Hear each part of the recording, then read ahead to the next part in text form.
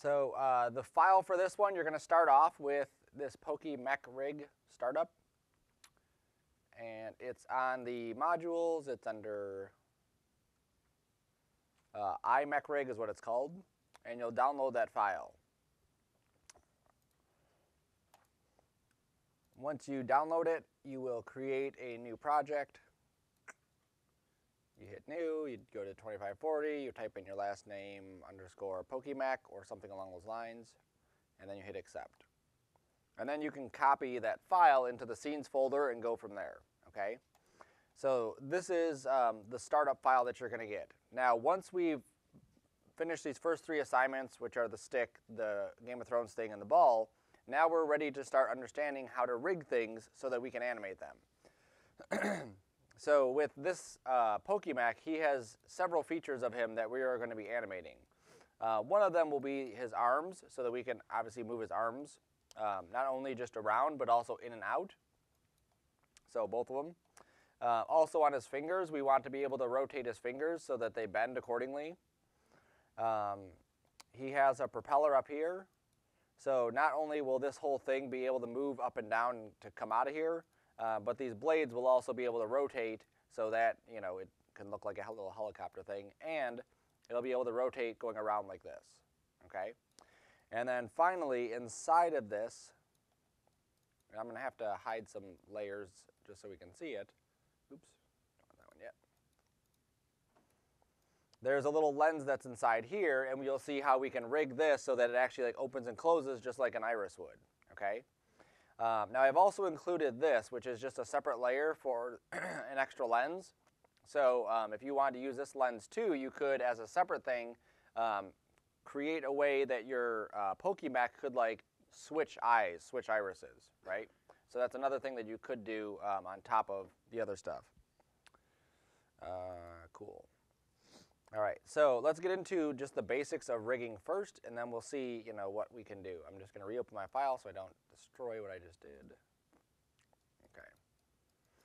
So anytime we rig something, the whole purpose of it is to figure out the best way to animate it or the easiest way to animate it. So when you get into little details like the fingers, I don't want to have to zoom in here and click on this finger and then go to my rotate tool and then rotate it. Now right away you can see there's an issue. Obviously it's not connected to that joint, so there's obviously that. Um, also, if I were to grab, let's say, this joint and rotate it, well, not only do I have to rotate this joint, but I'd also have to make sure that these items went along with that too, okay? Now I could go through and I could parent things and move pivots and all this stuff, but Maya's created easier ways, and that easier way is through what are called joints. So under the rigging menu, um, under skeleton, there are these things called joints. And anytime you, you create joints, be in the front view, be in the side view, be in the whatever view, um, especially if you're just like freestyle drawing joints, okay? So there's two parts to them. One of them is the actual joint, which is the round part. The other one is called a bone. Now you'll never see the word bone um, inside your outliner or anything like that because basically the joints are there and the bones just connect the joints. Just like your real arm, you have a shoulder joint, you have an elbow joint, and then you have a bone that would go between those two things, okay? So our main concern are these joints. Now with the exception of this very first joint, I can move the entire thing around like that, but um, the first one can move and rotate. All the other ones will never move okay? So think of this just like your arm. When you rotate your arm, you're rotating a joint, okay? I'm not like moving this joint or I'm not moving my hand. I'm rotating joints to get my uh, arm in the position I want. Now this middle one, you can consider that typically something like a hip joint uh, because that item would actually like move, okay? So um, those are the two parts of it. Now, what's neat about this is as I'm drawing them, Maya's actually keeping track of which order I drew them in and creating basically a little hierarchy structure of it and oops, uh, making sure that the rotation pivots are all in the correct direction. Okay, this one's a little bit off because I moved it. That one's all right. This one is way off because I moved it a lot. And this one is even further off. I think I might have my options set to there we go. That's better. Okay, so by default, it's already kind of orienting itself to how these things would rotate. And then the purpose of that is that if I have a, a hand like this, and I have a finger going out like that, I want it to rotate around that direction. I don't want it to rotate the same way that this one would, because that wouldn't make sense. Okay?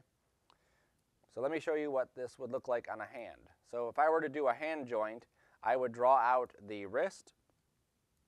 I would go to, let's say this is my pinky knuckle, and then I have, this is the one that's on the hand, like right there. And then I would go to my first knuckle, I would go to my second knuckle, and then I would go to the tip of my pinky. So that's what a typical finger joint would look like inside Maya. Then I would use my up arrows to move back. And then I would draw my ring finger, and I would do the same kind of thing. This, this, this, and that. Hit the up arrows again, draw my middle finger,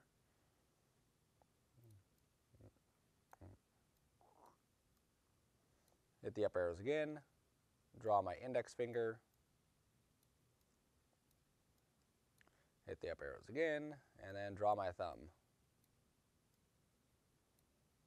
Base, three, four, one, two, three, four. It's a big thumb. I can adjust that. So I can use the D key to just move the joints. All right, so there's my hand. Okay. Now when I do a hand like this, this is what I want to be able to do. I want to be able to create a method for me to be able to grab all of my fingers and rotate all my fingers correctly. Okay, right now it's not correct because we'd have to adjust some other stuff, but that's the idea. Okay, very similar to the way that we did the, um, the stick animation where we can grab all of those joints and be able to rotate them both directions. That's what we want to be able to do. So this, very easily, I can grab this and rotate it, and then grab that one and rotate it, and then grab the next one and rotate it. Okay? So that's how a typical hand joint would look. And then it would also be probably a little bit over like this, a little bit over like that, and then the thumb would be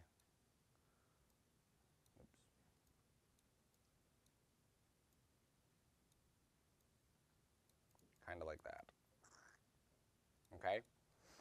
So the placement of our joints is going to be essential because if our joint placement isn't correct, then our stuff isn't going to rotate the correct way. So on this guy here, he has these little finger joints, um, fingers, and then he has these little joints right there. This is the exact spot that this joint needs to rotate from in order for this thing to work. If it rotates from way back here, it's going to look weird, okay? So just so you can see, if I put a joint in, and then I put one at the fingertip like that. Um, Maya does a stupid thing where all the joints are always huge, so you have to go to display animation joint size and then shrink it down. Oh, that's too small. There we go. Okay. So I'm going to move the joint way over here so you can see how it's not in the right spot. So now the way that this works for something like this, which is a hard surface, so it's not soft, it's not squishy, it's not like it like my hand or body or anything like that. Um, we would grab the geometry, we would shift click the joint, and then we would just hit P and that parents it to it. So that just connects this piece of geometry to this joint. Now we grab this piece of geometry, shift click the joint, and hit P again. So now, as I rotate this, look at how it's rotating off. Like that's not how it should be rotating. As I rotate just the tip of the finger, it should be maintaining that distance right there. It should basically stay right there. So I'm going to hit undo until I get back. There we go. I'm going to put this in the correct place.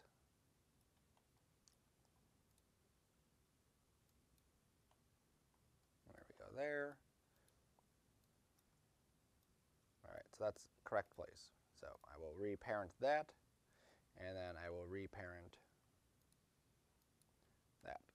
All right, so now if I grab this joint and rotate it, you can see now it's pivoting right from that hinge. Okay, so a joint placement is going to be a huge thing. If your joint placement is off, the animation or the rig will be off, and it'll be very difficult to uh, make him do what you want him to do. We also have to understand how things move so that we know the limitations of it. So there's typically, um, uh, in this case, there's two kinds of joints that we need to three kinds of joints we need to worry about. Uh, one of them is a um, hinge joint. Okay, so something like your finger, it rotates only in one direction, right? You can kind of, if you grabbed your finger, you can like twist it like that, but we're not going to get into stuff like that. It basically is just a hinge joint, just like a door. It only goes in one direction, only rotates in one direction. Something like your wrist, your wrist can rotate in basically two directions. It can rotate like this, and it can rotate like that, okay? Your wrist going like this is not actually your wrist rotating. That's actually the bones inside here like twisting. So that's a different kind of thing. Again, we don't have to worry about it for this. Um, and then we have a uh, ball joint, which is more like your shoulder, so you can basically rotate this in pretty much any direction, okay? So we need to understand all of those so that we know how each one of these is going to move because where the joint is placed is going to be essential for that. So if I were to go to this finger joint here, and I created oops, joints, the only direction I care about here is the one direction. So if I put a joint right there at the end of this, and then I put another joint here at the end of that, that is perfectly acceptable in the Maya world because this is only going to rotate in this one direction. Now if it was also going to rotate this way, well then it's going to rotate off. So I'll show you that just so you can see it. If it rotates this way, it's perfectly fine. You can see it actually rotates pretty nicely going around that. But if I was going to have it rotate in the other direction, now it's like opening weird. Okay? So if that were the case, I would have to make sure that this joint is not only placed at the center of this thing, but I also have to make sure that it's centered along it. So like in the middle of it like this. Okay? Now when we do this, we want to get it as accurate as possible, so we are going to center these like perfectly. Okay, so if we needed to, we could rotate it from either direction. Um, also, when you model stuff, you have to keep in mind as you're modeling it how it's going to animate so that you could obviously incorporate that in there. These fingers here um, do have a limitation. They can't go like bend in on themselves like all the way. They only can go a certain distance before this starts intersecting. If I had modeled this with some crazy, you know, thing like that, it'd be even more limiting as to how much it could actually bend the finger, okay? So you want to be aware of that if you modeled something that you later on wanted to animate it. All right, so let's get some joints in place so that we know where things are going to be laid out. Now for this rig, we're going to have um, joints for the arms and joints inside the body here, okay? So in order to place them correctly, I'm going to use a locator. And a locator is just a nothing object. It's just something that we can attach to things or move around or whatever. So I'm going to take this locator and I'm just going to, um, I want to snap it right to the center point of this, that, okay? Now in order to snap it right to the center of it, where are you at? There you are. I can hold down V and bring it over here. V is our point snapper. But it's not going to snap to the center of this thing. It's only snapping to points. So Maya has a neat tool under Modify Snap Align Objects. There it is and align objects. So this allows me to align the midpoints, which is basically just like snapping one object to the midpoint of another one, like that. So I click my locator, I shift click this little gear thing, and then I make sure it's on mid, make sure it's on last selected, and then I hit align. So now it takes that locator and it moves it right to the center of that. That's like perfectly where I want it. I'm going to duplicate this again, or duplicate it. I'm going to grab the next one and I'm going to hit G. And G will redo that last command that I did. So that last snap align object, instead of me going all the way back up here and finding it, I can just hit G and it'll redo the command. So I'm going to grab this and duplicate it. I'm going to shift click the next one, hit G again. Grab this one, duplicate it, shift click that one, hit G again. Duplicate it, shift click that one, hit G again, and this is a very repetitive process at this point, just going through and putting these in the right spots. Now, if they get too big, right now it's hard to see. I can always scale the locators down and that will have zero effect on what we're going to be doing with this. Okay, just easier for us to see. Now, we also want joints at the very tips of the fingers. They don't do anything except for us, it's easier to select the joints if there's something right here. So I'm going to duplicate this and just point snap it over here. and duplicate it, point snap, duplicate, point snap. Okay, so I'm just holding V as I move that. So that gives me uh, places, locations for each one of the joints right at the center. So now I need one for the wrist, so I'm going to duplicate it, shift click this, and then do the uh, snap align. Now if this is something that I'm constantly going to, it may be worthwhile to use control shift and add this to my shelf so I can just click that and just, it's right there. All right, so that's cool. So I'm going to duplicate this one. And this has to come over here. Now there's no exact spot for this one. So I'm just going to use my point snap to get it about here. And then in my top view, so I'm going to switch to my top view, I'm going to line it up to about there. That seems like an okay spot for this to be pivoting from. All right, so that's cool. I'm going to duplicate it again. I'm going to shift click the ball right there and then go to um, align. All right, so now if we look at where these are at, very easily we can see this is the shoulder, this is the elbow, this is the wrist, and then these are all the fingers going outward. Okay, so it's very easy to see that. Now what we just did on the one side, we need to do on the other side too to make, obviously, this thing symmetrical. So I'm going to grab all of these. Instead of regroup, um, snap aligning them, the object's symmetrical. So if I can just copy those over and flip them, then it should be fine. It should line up perfectly, as long as I haven't done anything to screw up this model. So I'm going to Control G, group all those together, and then I'm going to duplicate it, and then I'm going to negative scale it in the x direction. Okay, so I go over here. Whatever my x is, I just make it negative. And that pops it over there. And then you can see, if you zoom in on the um, joints there, you can see that they lined up perfect. Okay, again, something that as you're modeling stuff, you want to consider. Eventually, I may want to rig this, so I want to make sure it's symmetrical so that it makes my life easier. All right, now I'll also need a locator in the very, very center, so I'll just duplicate one of my locators and use grid snapping, which is X, and snap it right there to the center. All right, so that should be all of our locators that we need. So now I'm going to isolate so we can verify that's all the ones we need. Yes, that's all the ones we need. Cool. All right. So now I need to create joints that would reflect where these are at. So the whole point of the locators is just placement. This is where I want them to be. I could create a joint and then do the snap align, but it would take forever to do. This part is a lot easier to do locators and then snap it in there. So I'm going to go to skeleton and create joints. the options for this don't matter. As long as they're the default ones, you should be fine. And I'm going to start off at this center one. So I'm to hold down V because that'll snap to any of these and click. And then still holding V, I click, still holding V, click. I'm to hold V throughout this entire thing. Click. Now when I get here, I have branches. So this is the wrist, and then we have one finger, two finger, and three finger. It does not matter which one we go with first. I'm going to go with the top first. Now I have to draw the next one right here branching off from this finger or from that palm. So I use the up arrows on the keyboard to get back to the palm and then hold V again and then draw that. Hit the up arrows again. Whoops. Come on. Hold V again and then snap, snap, and snap. Cool. So now I can hit the move tool and now that's good.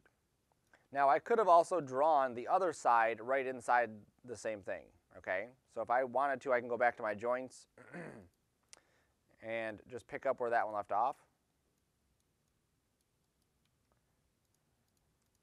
And you'll see that this uh, process, now that we have these locators here, doesn't actually take terribly too long. There we go, all done. Okay? The other thing that I could do, let me delete this is if I grab this here, I can go to um, skeleton and I can go to mirror joints. And what this is going to do is it'll mirror the joints from one side of my skeleton to the other one, okay? Um, so if I look at the direction, I want to do that in the x. So remember I scaled my locators in the x direction. I want to pick the one of these that doesn't have x in it, which is the yz. So now if I mirror it, you see that mirrors it right over and it ends up in the same exact spot. Okay? Now I want to do something before I do that because there's a uh, nice feature that's inside there that allows us to rename it. We need our joints to be named so that we know what they're called so that when we edit them, it, the world is a happier place. Um, so this will be my root joint, so I'll just call that root. I can then hit the down arrow and go to shoulder. Now we're going to have two shoulders, so we need shoulder right and shoulder left. So I can go um, our shoulder here, that works. And then this is our elbow. Oops, actually I'm going to call it right shoulder. No underscores, and I'm not putting underscores. There we go. Right elbow. It helps if I'm doing the correct one also. So this is the left shoulder. You guys gotta let me know when I'm doing something wrong. There we go. Left elbow. Left palm. Okay, now when we get to the fingers, I just use index, middle, and pinky. Okay, you can call them whatever you want, one, two, three, four, five, six, whatever you want to call them, as long as they're consistent. So this is to be left, index, B for base. And then this one, next one will be left, index, M for mid. And then that one will be left, index, T for tip. So then I go to the next one, and this is left, middle, B for base, left, middle,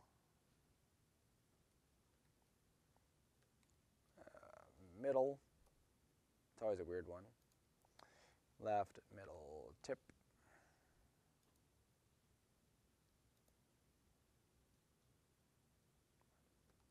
Left, uh, pinky, base.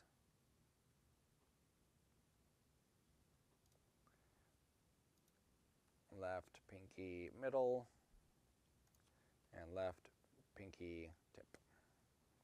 Cool. All right, so now all of these are renamed. Um, everything should be lined up good. So now I'm going to duplicate or mirror that again. So I don't grab the main one, I grab the shoulder joint, and then I go up to my mirror joint. Now here's where I was talking about. It can replace names for duplicate joints. So if I say replace all my left with right, then when it duplicates it, I don't have to go back and rename all my joints. They're already there. There you go. So now this is right shoulder, this is right elbow, and so on. Okay? If you feel like renaming them all, then just draw them all out and then just rename them. You're free to do that. All right, so that gives us our joints for the character. I should probably save this, right? It's always good to save. Uh, put my name in here, Sarcona, blah, blah, blah. Good, okay. Um, now we have to check out our joints. So I'm done with these locators. That's their whole purpose is just to place joints. The joints are placed, they're in the right position. So I'm just gonna throw them on a layer and hide it in case I ever decide I need those locators back for whatever reason. So now I need to check out the joints to make sure they work. So if I go to these two here, and I'll turn this on so you can see where they're at. So that's those two right there. Okay. I should be able to rotate these both, uh, both of these joints in the same direction and have them bend the same way, okay? So if I grab the green and rotate it, I should be able to basically rotate them inward or outward. So that is correct, okay? Now, isolate my joints only so I can see this again. So I'll grab the next two and rotate that, and that's working. I'll grab the next two, rotate that, and that's working. Okay, now what does it look like when it doesn't work? So let's see what it looks like. Now mine, of course, is perfect because I'm perfect, but why are you guys laughing? but when it's not perfect, this is what it's going to do. So I'm going to grab all the joints. Now there is a difference between me doing this, just like on the um, stick one. There's a difference between us grabbing just that main stick joint and rotating it, and us grabbing all those little stick joints and rotating them. So when I grab this and rotate it, you'll see how these all are going up, but some of these are actually going backwards. So watch here in this crook, these are actually rotating backwards. Okay, so even though I'm rotating them all the same direction, those are rotating in the wrong direction. Okay, and if I go this way, you'll again see how we get this like weird notch in there, right? So I'm going to hit F8. Um, I'm going to go to my question marks here. So F8 turns us to component mode, right from our hotkey sheet. Question mark is local rotation axes. So basically, what is the upside and what is the downside and what is left and what is right of anything that we're rotating. Okay, so Maya has that information stored in it. So what we want to do is you can see how the Y is going up like this and the X is going down to the next joint. That should be consistent from one joint to the next joint to the next joint. So the Y should always be facing pretty much in the same direction. If I scoot down, however, you'll see that right here and right there, the y's are not facing in the correct direction. They're actually facing the you know, downside, and then we're back to facing in the up direction. So I need to rotate these so that they go in the correct direction. So uh, before I do that, I'm going to hit F8 again. And I'm going to show you where if you mess this up, how you can fix that too. Okay, so there's a couple different ways to do it. So if I um, look at how this is rotating, and I do this, you can see how this joint is rotating like perfect. Okay, it's like twisting perfectly in a straight line. If I, however, move this and move this, and I go to rotate it, you can see now that that is not rotating in a perfect line. Okay, so if I hit F8, you'll see that now this is kind of like really far off. It's no longer like lined up with one of these going down to the next joint. It's just like floating in space. And probably the same thing with this one. Yep, also floating in space, okay? So to, let me scoot this over to the other screen. Um, to correct it in, a, in an overall sense, okay, or get us one step closer, under skeleton we can go to orient joints, right there. I'm just going to reset it, and the default setting should be good, orient, okay? So now when I hit F8, um, you can see how the Y's are, this Y is up, this one is down, this one's there, this one's there, these are up. Um, so it got us closer, okay? Definitely put these back in alignment with them, but they're not in the correct direction still, okay? So now we have to do the next step. And the next step is simply just going in and rotating this until the Y is facing the correct direction, okay? Now there's a, uh, an accurate way to do this and an inaccurate way to do this, and right now I'm doing the inaccurate way, which is just kind of eyeballing it. Okay, so that's eyeballing it. This is eyeballing it. I basically need to rotate it around 180 degrees. That's all I need to do. So Maya comes with this um, wonderful thing called the script editor. So way down here, oops, at the very bottom, there's like a little semicolon on a page. This is all the stuff that happens. So when you select something, Maya remembers it and writes it down. And when you highlight something, it does it there. When you deselect, it does it. Everything we're doing, Maya is remember remembering. So what I'm going to do is I'm going to scoot that over.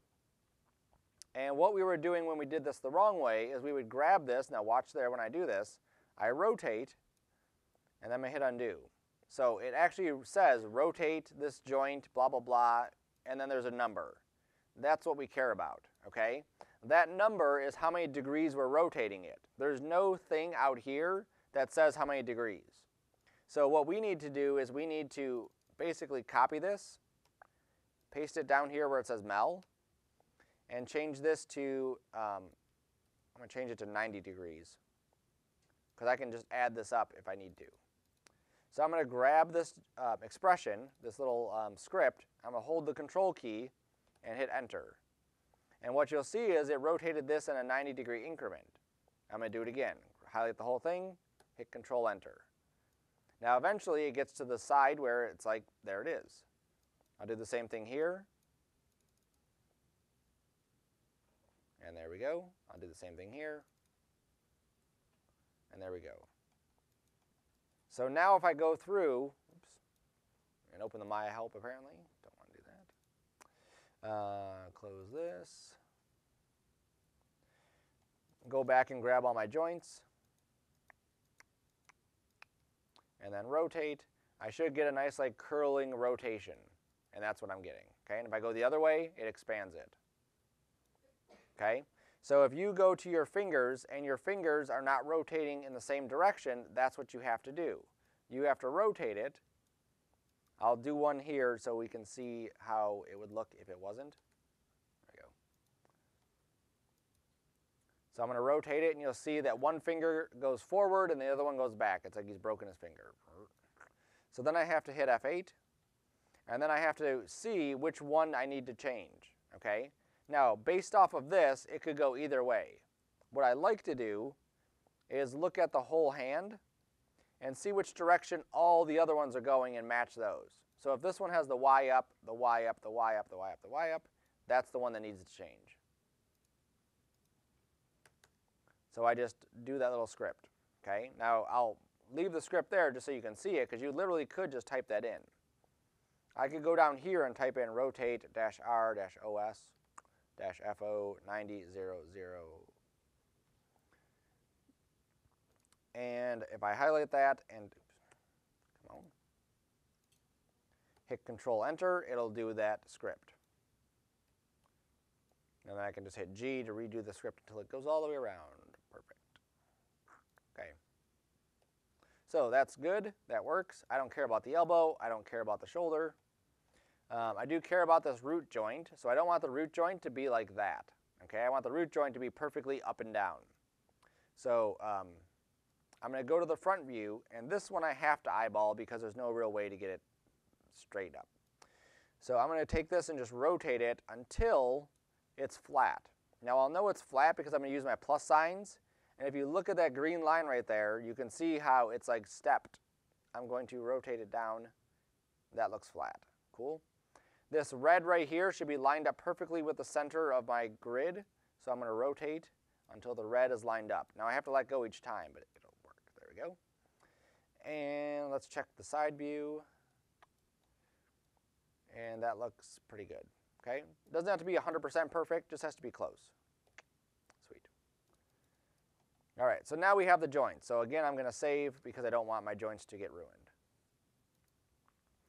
So now what I need to do is start parenting things to my joints. Okay, so right now if I move my stuff around, hey, what's going on there?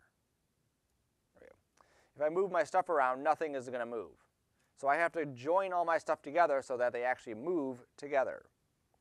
So I'm going to go to all of these things and just start parenting stuff.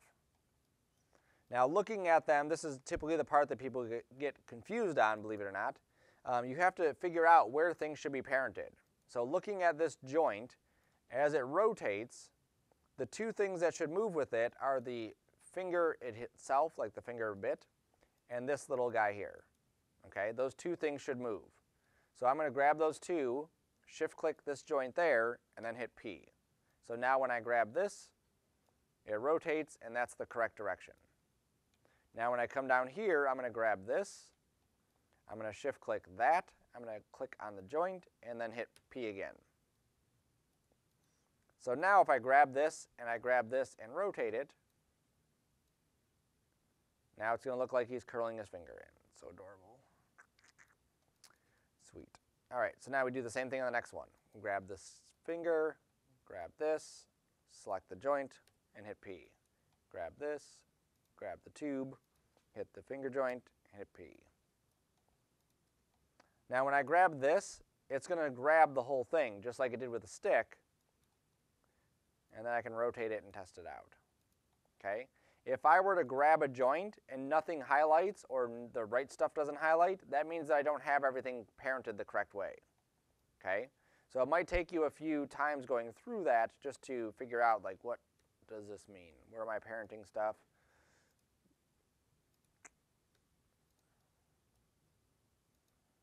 Go, there we go, there we go. So now if I rotate all of these, they all rotate together. Okay, that's much easier to do than trying to, you know, parent and move other stuff around. Now for the palm, the palm is going to have this one. okay? Because that makes sense that this thing here would rotate the hand. Oops. And it appears that that joint is off. So let me go to my top view, let me hit F8, let me rotate that,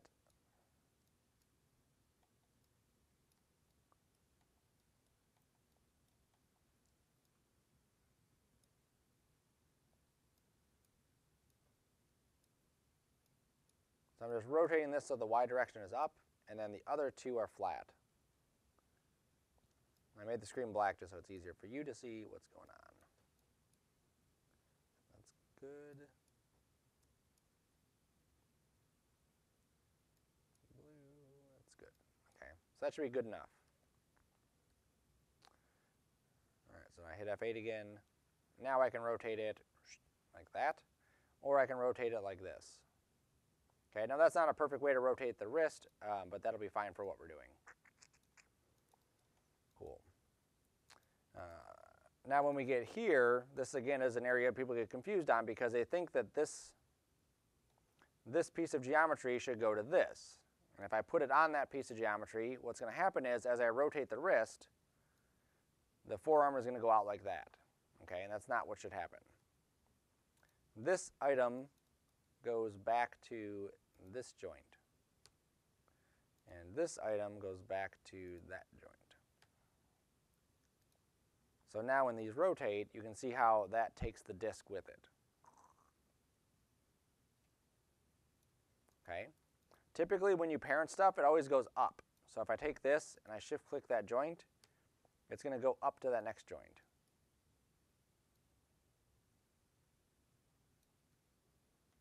Okay, so that sphere is going to go to that joint.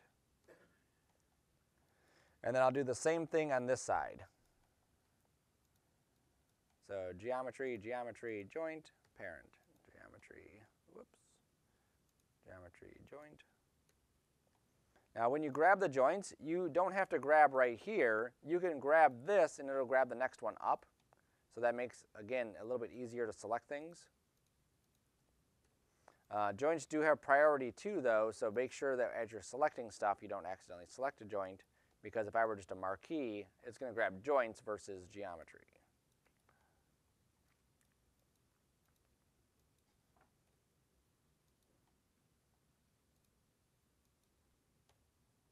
Go. Now if this joint is like the other one, I'm probably going to have to rotate this so that it's lined up right. So I'll pick the Y up straight, like that. I'll go to my top view so I can see that better, rotate it.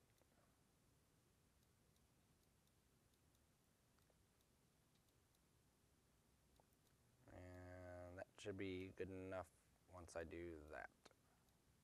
Yep.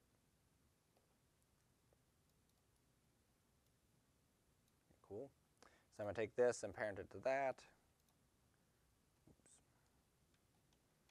Take these two, parent it to the elbow.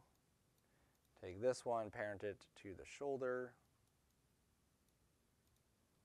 And it is difficult to see, so you just kind of have to look around and eventually you'll figure it out. All right. So now all the arms are parented. So now if I were to grab that main joint and move it, you'll see how the arms are going to move with him. Okay. Whoops. Um, then what I need to do is obviously the rest of him also has to be parented or connected some way so that it all moves. So the rest of it is just going to be connected to the root. Um, anything that's going to be moving separately, we have separate joints for, but all the other stuff is just going to move together, okay? So if I just go to the Pokeball here, and I drop him inside the root, just with the middle mouse, now I can click on the root, and I can move the entire thing around. Okay, so that's an option for, or not an option, that's a way that we can do that. All right. So that's cool. Now I'm going to save this again. All right, and then we can start actually like rigging this, okay? So the joints are there just to be able to give us some control over uh, moving the hands and moving the fingers. Um, let's create a control for the propeller here, okay? So under window animation editors, we've played with the graph editor, we've played with the oh, that's something else. With the dope sheet. Um, there's also a couple other things inside here like um, expression editor and under the general editors there's another one called connection editor somewhere in here right there. Um, then there's also some other areas we can also play with, okay? So we're going to set up this propeller. So the, the propeller itself should be able to rotate from the center, right? So all of these should be spinning from the center. And if we look really close, under here you'll see that there's little bars. That's where they should be pivoting from, okay? So if I grab this and I shift click that and I just hit P to parent it, now this item will pivot from there. Okay? Because it's basically sharing that pivot now. So I'm going to grab this, I'm going to shift click the little rod right there and hit P to parent it. I'll grab this, shift click the little rod, P to parent it, P to parent it. Okay? So now if I go into each one of these rods right here, and then I go to rotate, and I rotate them, you'll see that they all rotate together. Now this is where um, rigging comes in because we want to be able to control these things efficiently. This is not efficient because I would have to rotate one of these and then switch to the next one and rotate, then switch to the next one and rotate, then switch to the next one. So that's like a big hassle. So I don't want to have to do that. Um, I also want to be able to lift up this entire thing, okay? So this item right here, I'm going to use actually that item. I'm going to use this item as my main item that will basically lift this or be able to lift this entire thing out. So I'm going to take these little rods that are in here. And you can select them in object or in shaded mode, but it's easier for me to see it. I'm going to shift click this and parent it to that. I'm going to take this, shift click that and parent it. I'm going to take this, shift click that, and parent it. Okay? And I'll show you where the stuff is parented so you can see it.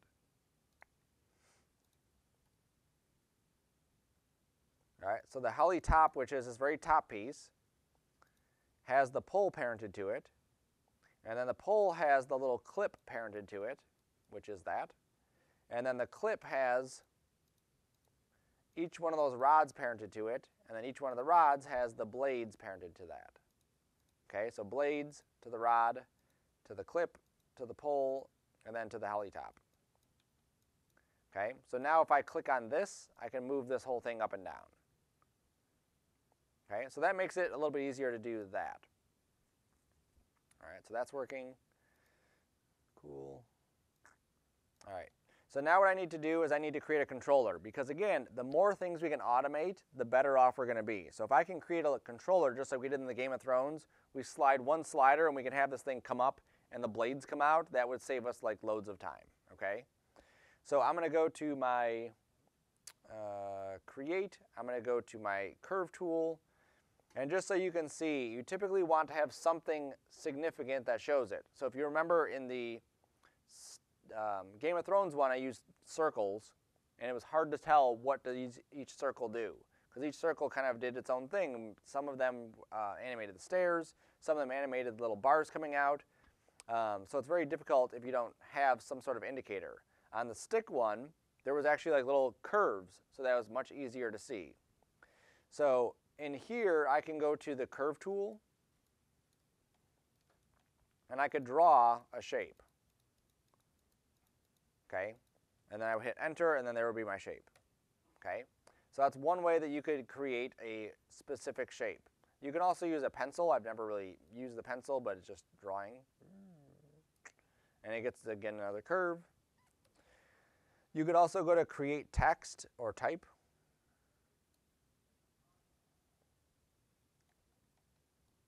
And inside here, I want to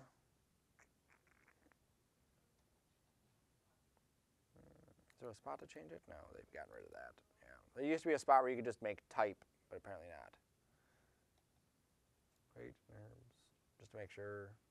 Nope, that's it. Okay. So over here I could make like a letter. Like if this is the propeller, I could make a P. And that would be a very obvious sign. This control is going to operate the propeller moving up and down.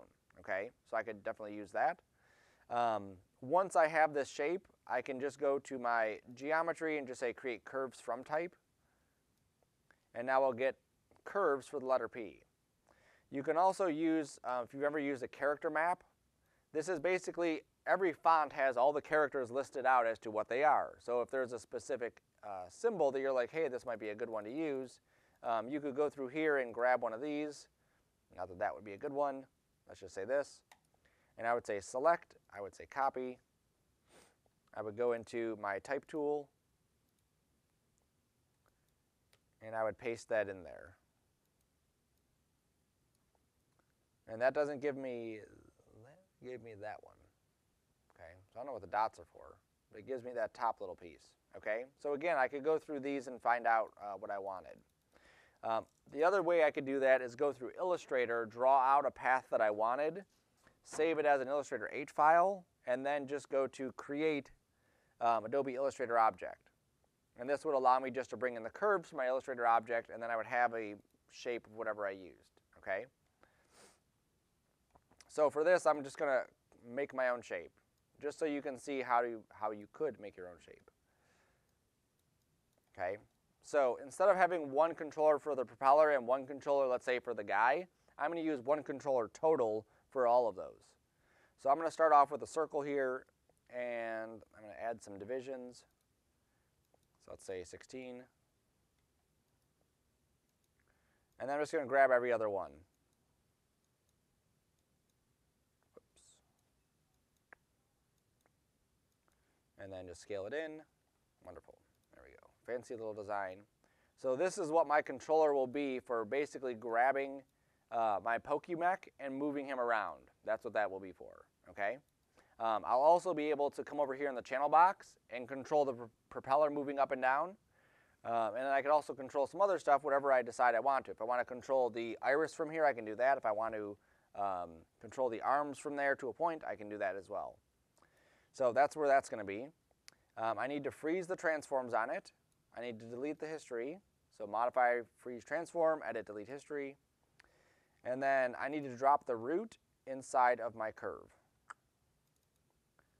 Okay, so now this curve is or circle is going to be pokey controller. Or poke controller? No, poke E controller. Or he can be really cool and use two E's. There we go. Poke E controller. Awesome. So now I need to create a controller on here, an attribute on here that allows me to control this thing moving up and then the blades coming out. So I'm going to go to uh, create, nope, modify, add attribute. Instead of bunching all these together, like if I just created an attribute, it jumps it in right here, and that's kind of hard to see the rest of it, like where are my custom ones because of this extra stuff. So what I want to do is create some spacers, so I just do some underscores. And now I have basically an underline, and then I can have what I want. So this is going to be propeller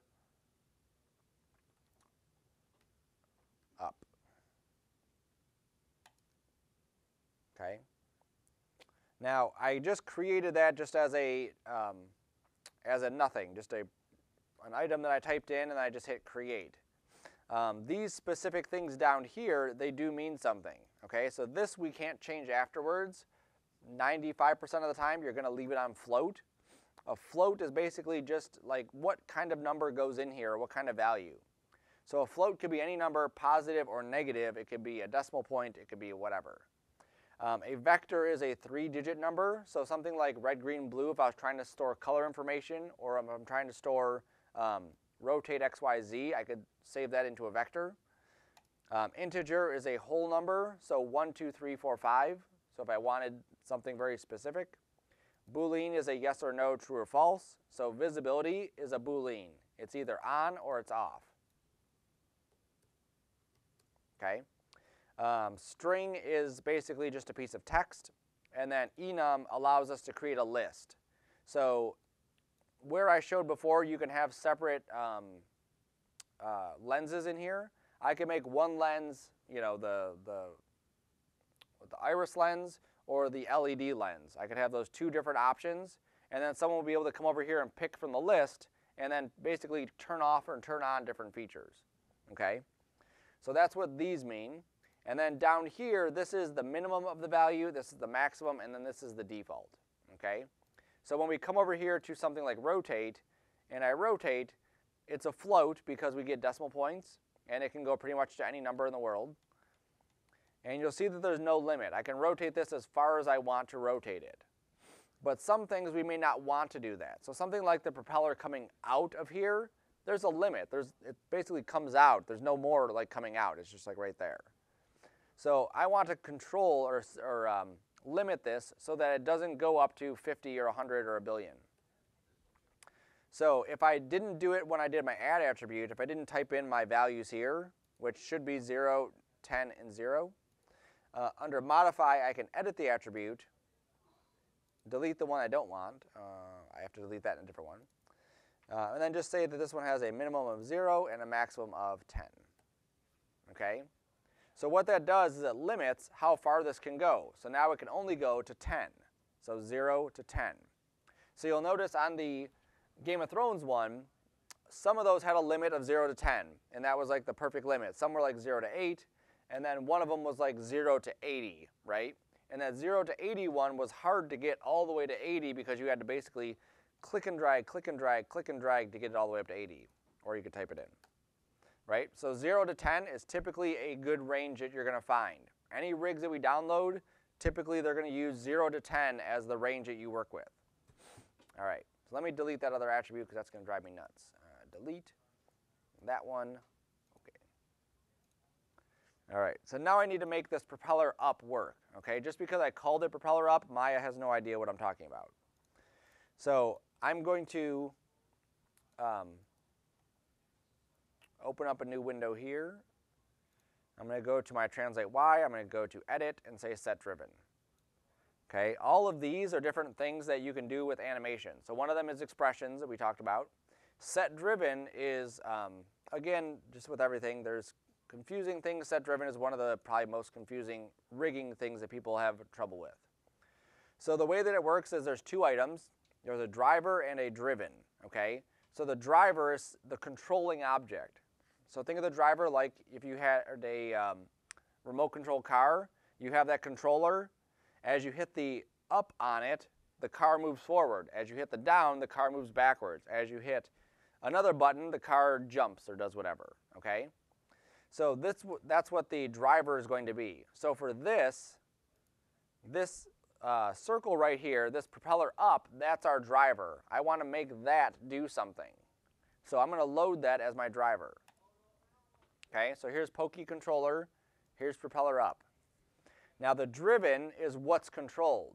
So when we hit up on the controller, what is actually going to happen? Like what is going to move?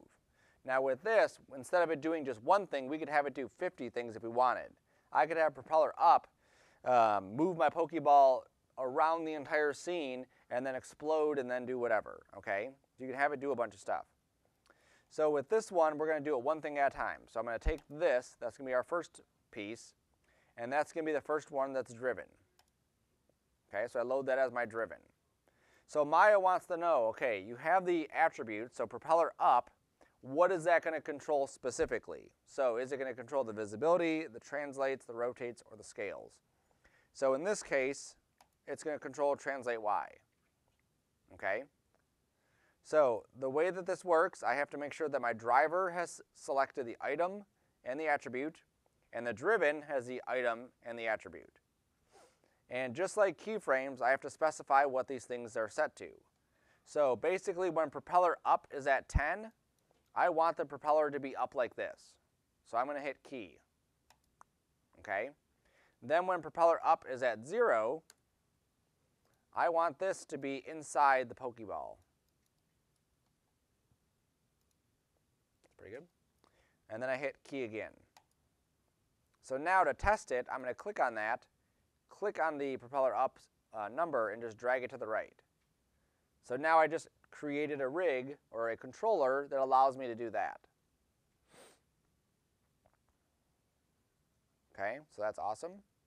Now what I want to do is I want to maybe have this um, happen a bit quicker. Because what I could do is have the propeller up move up and then also have the wings fly out also, okay? So from 0 to 10, this is what happens is it just goes up. But what happens if it, let's say, gets to, um, let's say 7, okay? So maybe at 7 is when these uh, propeller wings actually start like lifting up. So from 7 to 10, that's when it would lift up. So I'm going to go inside here. I'm going to grab these things. Because that's what I would use to do that. I'm going to load those as my driven. Okay, I can grab all of them at the same time. I have to see which direction they're going to rotate. So in this one, some of these are going to be X and some of these are going to be Z. So I'm going to grab X and Z. Okay, and I just use my control click to grab those. So when uh, propeller up is at 7, that's where these guys are going to be. Actually, let's set it to 6. We'll just see if that works. All right, so when that's at 6, that's where they're going to be. So I'm going to hit key.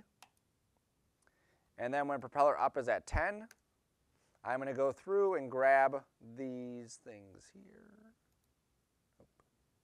One at a time, apparently. And just rotate it out.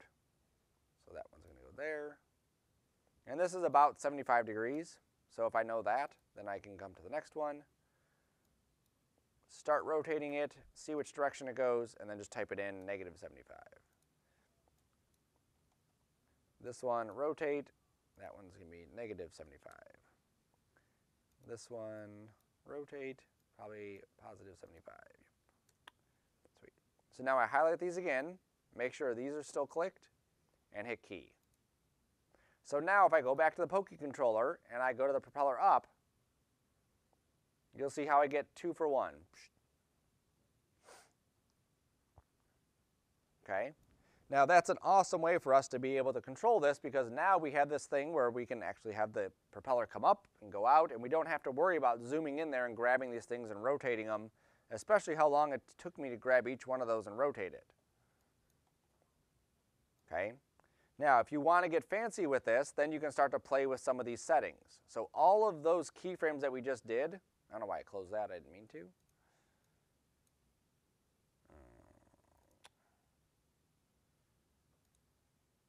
Whatever, I'll get it back. Um, all of those will show up in the graph editor. So if I go to my graph editor and I click on this top one, there's the set driven for it. So these are not animation keys, these are set driven keys, okay? They work pretty much the same thing except for instead of us updating the time slider down here, we're updating a different value. So at um, zero, right here, or yeah, at 10, the, when the um, when this controller here is at 0. There we go. This caps value is at negative 7 point whatever that is, 598. When this is at 10, the propeller's value is at 0. Okay? So I can take this and just kind of play with it a little bit. So I'm going to move this back instead of this being at 10. I'm going to put that at 8. And then do that. So what this should do is actually do a little bit of overshoot, okay? So if you remember from the Game of Thrones ones, those things didn't just like, the um, little sound bars didn't just come up. They kind of came up and then went back down, okay? So that's what this is going to do. instead of just coming straight up, it's going to come straight up and then pop back down again.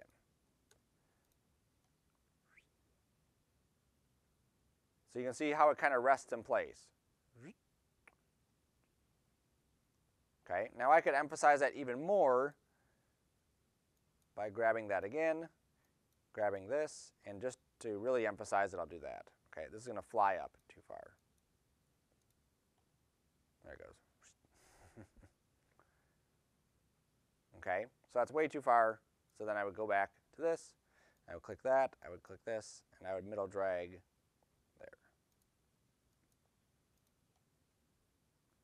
Okay, that's still too much because it still comes out of there. That's good.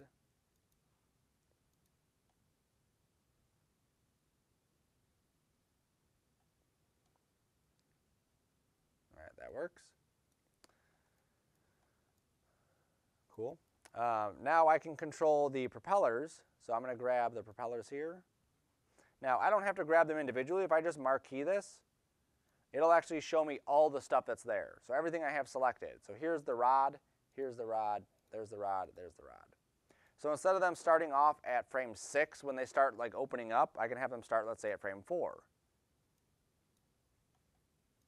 So now let's see what that looks like. I can probably go even further. I can probably go to like two.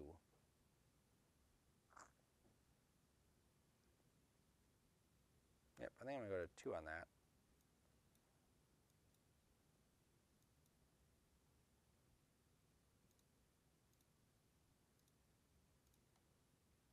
There we go. So now we've just created a controller that allows us to do exactly that.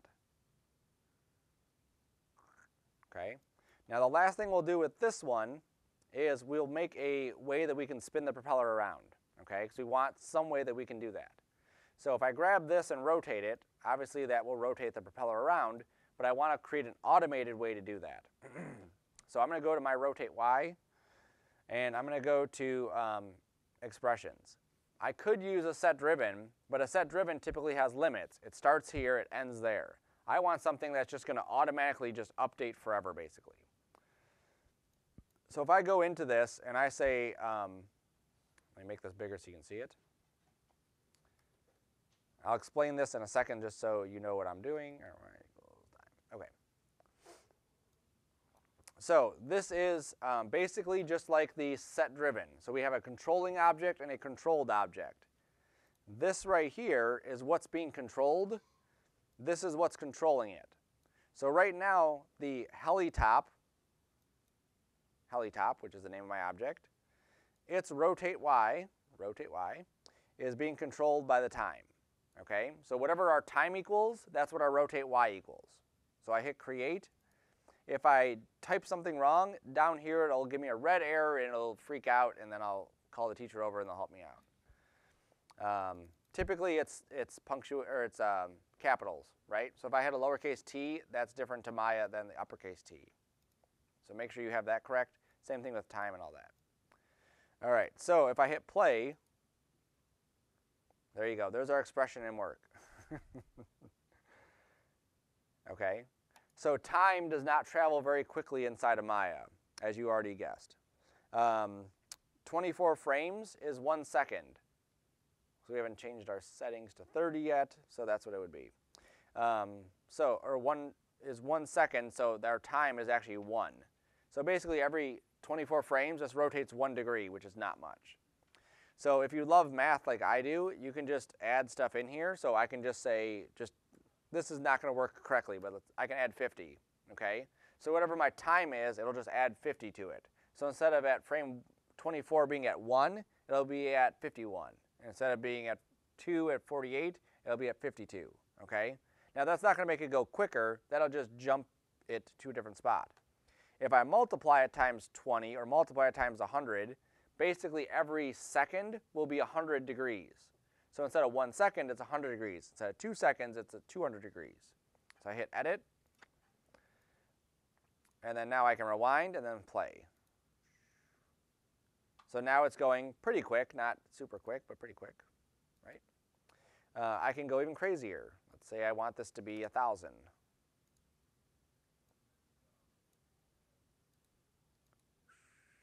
There we go.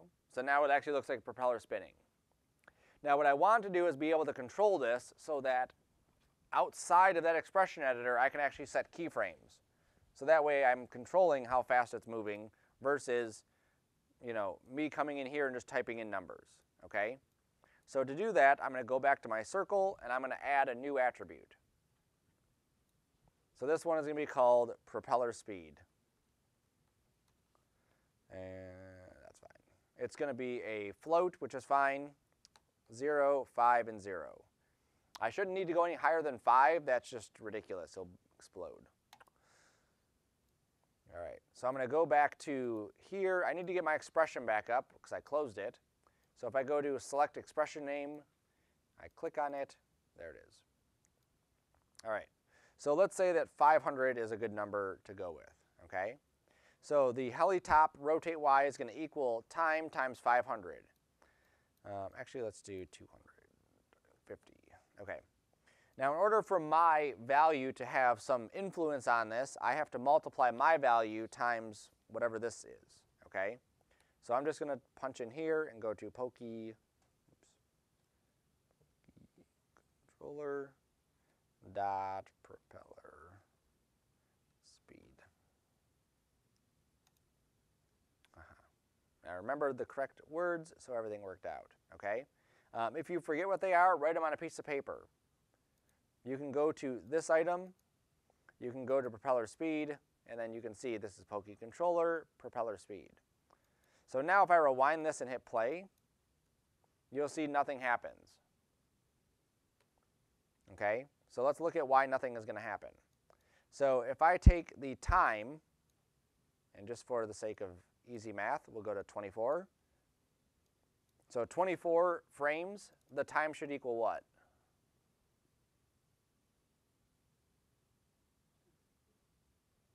No, just just with time. What does time equal at? At 24 frames, if this was just at a time, what would it be reading? One, right? So one second. So then we multiply that times 250, and then we get 250, okay? So then we multiply it times whatever this is. So this value is zero. So what is 250 times zero? Zero, right? So it's zero. So it doesn't do anything. Now, if I were to animate this, so let me rewind this back to the beginning. Let me set a keyframe. Actually, let's go to 40. We'll set a keyframe here. I'll go up to 65, and then I'll set this to 3. There we go. So now I'll hit play. There we go. So now it picked up speed. So now it goes from being at 0 to actually like ramping up and then going fast. Okay? Now, in order for this to be believable that it's actually moving, this has to go pretty fast. Um, don't worry right now too much about how fast it needs to go. Oops. Let me just throw an Arnold light in here just so I can see it. So right now it looks like it's not spinning at all, even though it's spinning like crazy, because I don't have motion blur on. So let me just turn motion blur on. Oops, there it goes. And then we'll do end of frame. And I'll add some more keys in here and then take my length up.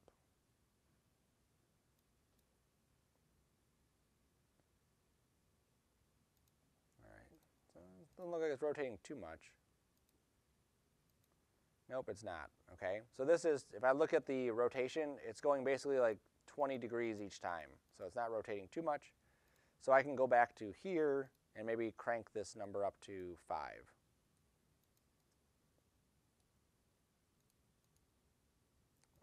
Again. There we go. Now we're getting some nice blur on there. Sweet. Okay. So now I know that 0 to 5 is a good range. If I didn't see any blur, maybe I would need to go back into this expression and type in a bigger number here. If this is set to 5, then it's still not going to go anywhere near as fast as it needs to go. Okay, so that's one expression that we will use for this. Uh, we can modify this even further and tweak it and do whatever. Um, this expression, just to keep it simple, does not work backwards, meaning that I can have him ramp up to a speed, but if I tried to get him to go back to a speed, he would actually like spin backwards, okay? Because eventually what would happen is this number would equal 0.1 or 0.25 or 0.5, and that would cut his rotations in half okay? And again, just so you can see it, uh, let's go here, and I'll set a key. And then we'll go up to this, and then we'll set this to 0.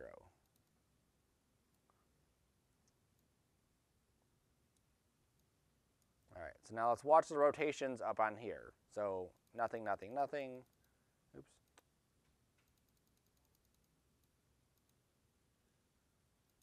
There it goes.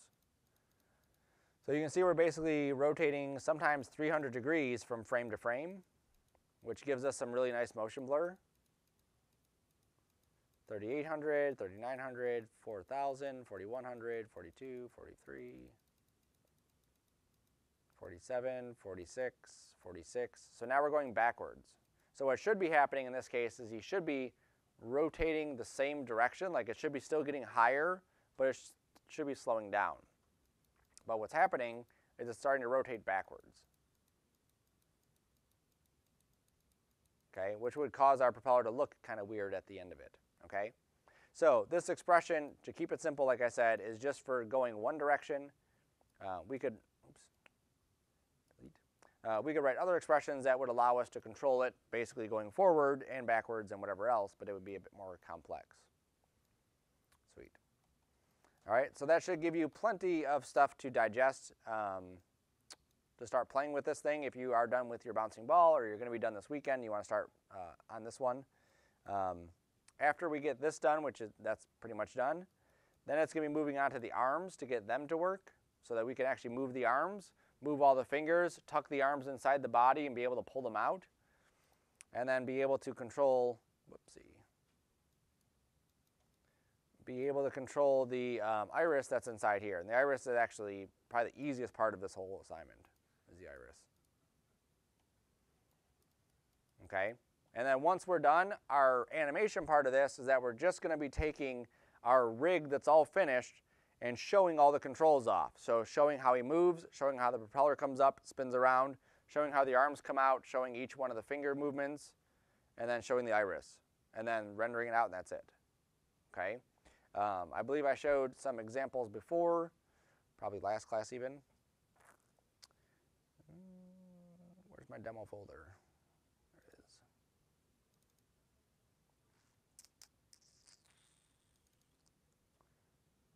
Pokey.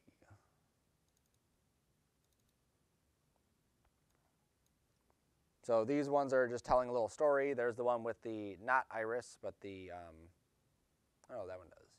There's just a light behind it. So you can see how his arms come out. There's his fingers all moving around. Here comes a blade. And then flying away.